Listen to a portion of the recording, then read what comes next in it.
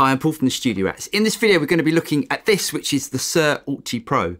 Now, the Alt-T Pro is an older, thin line style telly with some tricks up its sleeve. The reason why I got this was because I sold my Les Paul and I was looking for a versatile twin humbucker guitar. Now, the Les Paul is fantastic. It's a great guitar. It's a classic guitar. Loads of people get on with it. Personally, I don't. And one of the reasons why I don't get on with it is because for me, a Les Paul sounds great in the bridge position when you're using it with overdrive and everything else just, it just doesn't cut through a mix. So I was looking for a guitar with a lot more versatility. Now, even though this is a twin humbucker guitar, it's got thornbuckers. Now, these thornbuckers are fantastic low output PAF style pickups and it's got a five-way selector switch. Now what that means is it uses some clever wiring which basically splits the pickups so you get some more sort of single coil sort of sounds. Now that's obviously something that a standard style Les Paul can't do or doesn't do. Normally when you buy a twin humbucker guitar and it's got coil splits on it, you tend to get a reduction in volume, in output, when you switch into the coil positions. And for some reason, this guitar doesn't do that. And I've got to be honest, these are some of the finest pickups that I've ever heard on a guitar. Let's go through some of the sounds. First of all, let's switch it to the bridge position. Now, clean, it sounds like this. When I say clean, clean on the verge of sort of breakup. So it's got loads of clarity, way more clarity than my custom shop Les Paul that I used to own. Let's go through the clean sounds first. The next switch up, I think, is one of the humbuckers split.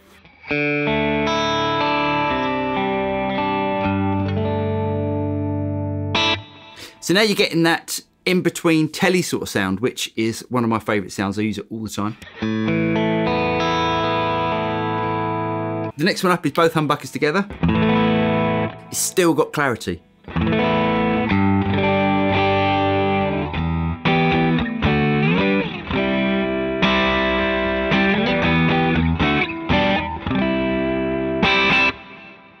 Right, the next one up, as far as I can tell, is basically the neck position of the coil. So you get that classic telly neck or Stratocaster neck sort of sound.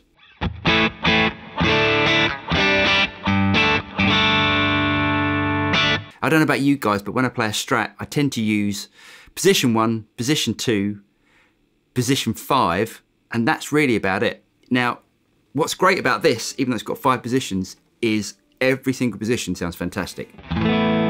Okay, so that's position four, and position five is the neck humbucker.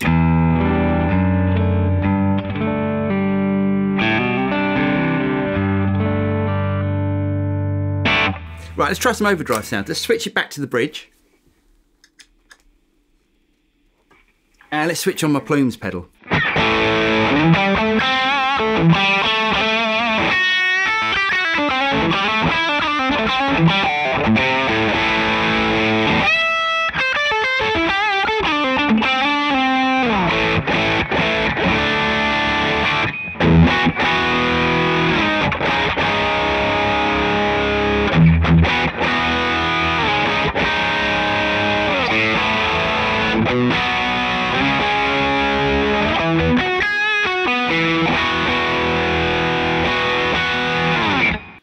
Loads of clarity, which is what you get from more low output pickups. Let's switch it onto the neck position and try some overdrive sounds.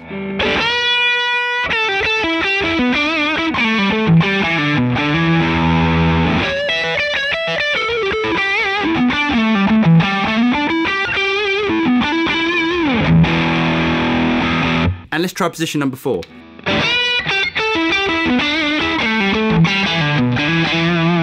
So that gives it that classic sort of Hendrix neck position strat sort of sound.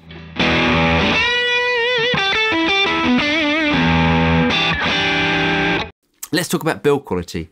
Now with all Suhr guitars, the build quality is stunning to be honest. It has stainless steel frets. To me, that's a really good thing.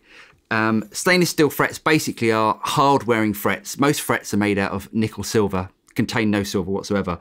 But stainless steel frets are the modern take on guitar frets, they basically last forever. They don't tarnish because it's stainless steel. Uh, they don't dent. Now, a lot of guitar luthiers don't like to use stainless steel. Basically, it's um, it's really hard to work with. But once you've got a guitar with stainless steel frets on it, you don't look back, to be honest. I've got a couple of guitars that have got them and always my choice. Now it comes with locking tuners. The locking tuners are Suhr's own brand, but they are really high quality. I mean, you wouldn't expect to pay two and a half thousand pounds for a guitar and not expect the finest quality on all the components. I really like the bridge. The bridge is very different to a telly bridge, as in it's a lot shorter, it's a lot more comfortable to play. And yeah, it sounds great. It's very light compared to a normal Telecaster. Um, I guess half of that is probably because it's been routed out, but it's, yeah, nice and light, very resonant. The paint job is, as you would expect, absolutely fantastic. Now, it's a poly finish. Personally, I prefer a nitro finish, but you can see the quality of the paintwork is flawless. Uh, far better than, than what you get out the Fender Custom Shop at the moment. I mean, look at the state of that. Anyway, my only gripe, and it's not really a gripe because I personally prefer it this way, but a lot of people do have a problem with this. When you spend two and a half thousand pounds on a guitar, you'd expect a case. Now, with a Suhr, you get a really nice quality gig bag. Now, I'm sick of cases. I've got probably 10 cases in my loft. Um, when I gig, I normally take a gig bag. It's far easier to travel with. So that's always my choice. Now, to me, this is the ultimate Telecaster. It's got the Telecaster sounds that we all love, but it's also got versatility of some humbucker sounds. So really, you could take this to a gig or a session and it would cover all of the jobs, all of the styles that you would need. I'm Paul from the Studio Rats. I really hope you guys got something out of that. If you did get something out of it, don't forget to like and subscribe and click on that little bell icon and you'll be notified as soon as a new video comes out.